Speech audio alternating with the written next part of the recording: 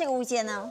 哎，这个物件就是我爸爸留下来的。啊哎，这个是跟明宣德时期留下来的器型很像。是是是是哎，好啊像就是它有什么特色？明宣德时期的器型是它这个就是一个直壶。对啊对，它这个器型我看是几乎百分之百是模仿明宣德时期。其实。它那个时候就是这样就是一胖胖的，胖胖的一个直颈哦，壶，那个水青花对最早是永乐哎对，是青花。最早是永乐也是有一个这样的下巴，是不是？对对是是是哦，它是那个伊斯兰的器型，哦哎，模仿伊斯兰的器型。好，所以这个器型是符合当时那个时代的器哎，型。对，因为呃，呃这个底部有落款是乾隆时候生产的，然后我呃，据我所知，那个清早期那个时候，呃，比如康熙啊、雍正、乾隆，他们都会模仿模仿前朝的一些器型。仿古，嘿，仿古哦，所以呃，我觉得也很符合他们那时候的一个做法。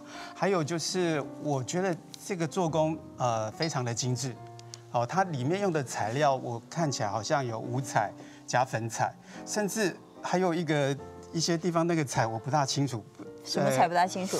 有一些地方它脱脱彩之后，然后就薄薄，好像看起来像玻璃纸一样。嗯，哎，我不晓得那个是什么彩，还是也是五彩，我我就不大清楚。彩是什么？粉彩是什么？你可不可以讲一下比如？说，哎，这像上面这些呃蕉叶纹，它就是五彩的。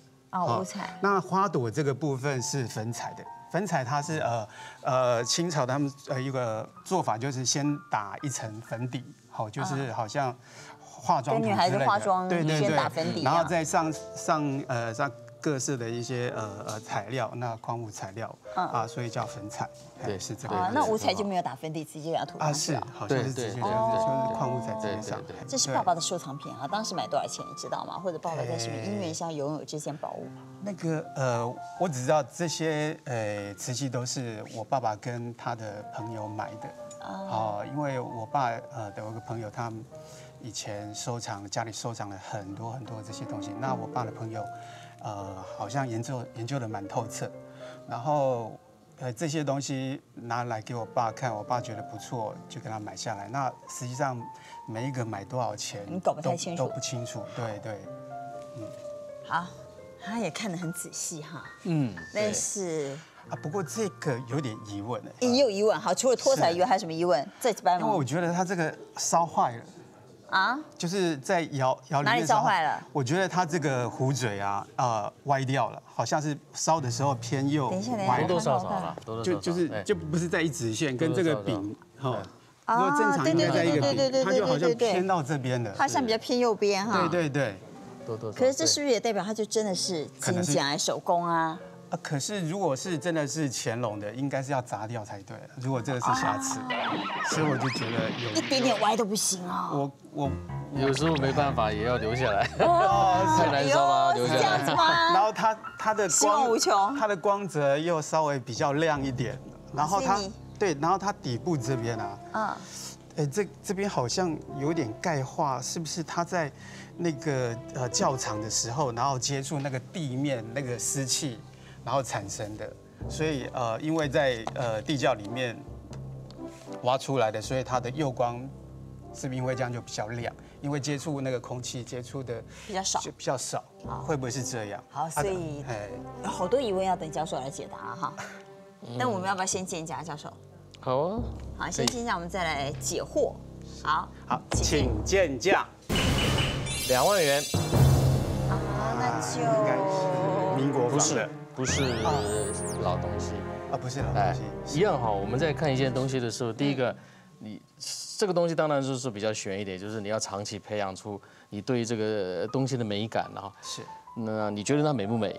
啊，包括它的画工，包括它的构图，包括它的配色，都都是审美的要素，包括它的器型的设计，是这些都算。然后你看完以后，你再去把它摆在某一个时代的年代的区段，看它是适合哪一个时代的东西。